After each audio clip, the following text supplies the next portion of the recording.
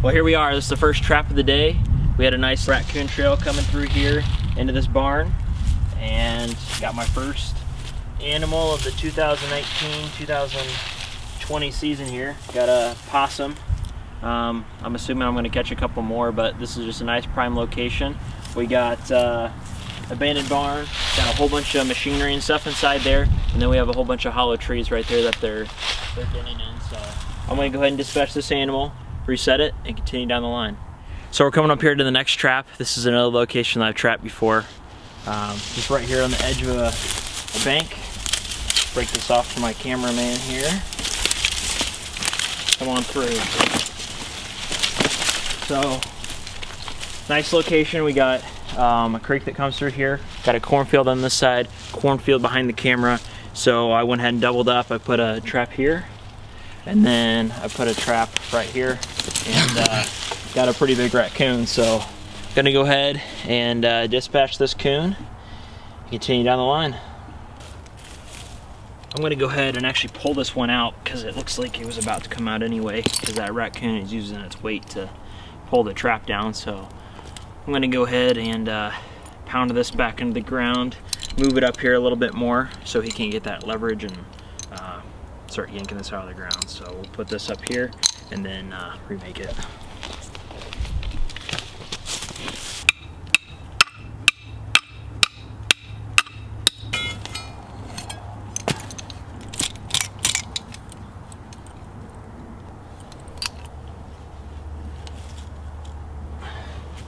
So I'm gonna go and rebait this up. And I got some dog food some ham and beans, some cornbread, basically everything left over from Christmas is in here, so good quality last meal.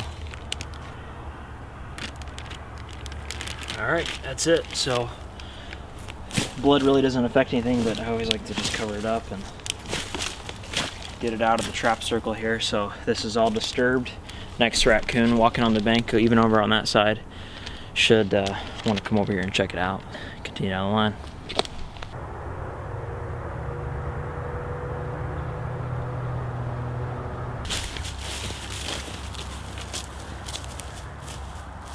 Today is January 3rd, back out here on the line and coming up to a spot where I caught a raccoon yesterday. Good location. Got that trail running on the side of the creek. Whole bunch of falling down logs here for a denning area. Bean field slash cornfield behind us. Another one over there. And uh, out here solo today, so I'm gonna be running the camera, but this is the spot where I caught the raccoon that I last showed. And today another dog proof trap. Got a possum here. So, gonna dispatch this quick. We're kind of running out of daylight today. Gonna dispatch it, remake it, and then uh, check a new location. I put a couple more traps out today, so hopefully we can catch some more. Well, coming up to the new location that I set yesterday. And this has been a very good spot over the years. This is probably my most most trapped uh, location that I have in this area. Got myself a raccoon right there. And then I had, uh, of course, another trap right there because if it's good for one, it's good for two. And basically what we have here is just a drainage culvert. Goes underneath the road. Um, I actually put a log on the other side so the raccoons can come up into this culvert and get to the side of the road without having to cross it. And then uh, on top of here, there's a cornfield. So just prime location. Was hoping for a double, but I'll take uh, the single here. So dispatch him. I'm pretty sure that's going to conclude the line. I have one more muskrat trap, but I'm not going to hold my breath on that. I'm Going to check it, uh, put out a couple more traps, and hopefully by the end of the week, uh, I'll have a nice amount of traps out here. Finally back out here on the line today. Had a couple days in between trap checks. I had to pull all of them because of work. But uh, back out here on the line, this is the first trap that I've checked so far. Got a raccoon. It rained all last night. I actually wasn't expecting much uh, for the trap check today, but got a raccoon and the dog proof trap.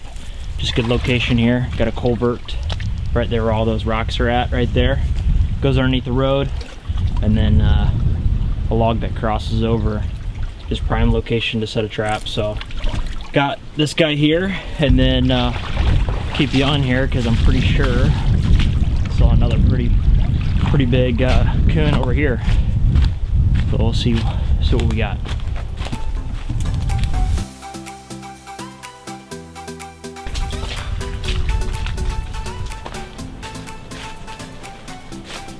All right, here we are. This is the second trap here. Another pretty big raccoon.